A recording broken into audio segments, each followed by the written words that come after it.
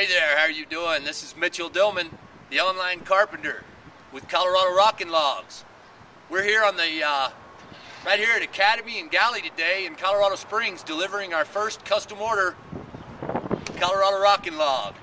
So let's go on inside and meet the owner.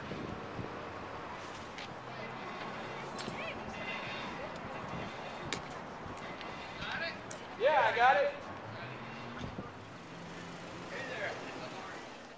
Right, then, we're here in the Four Bar Western and Workwear in Colorado Springs, Colorado, with the proud owner of this new Rock-n-Log bench.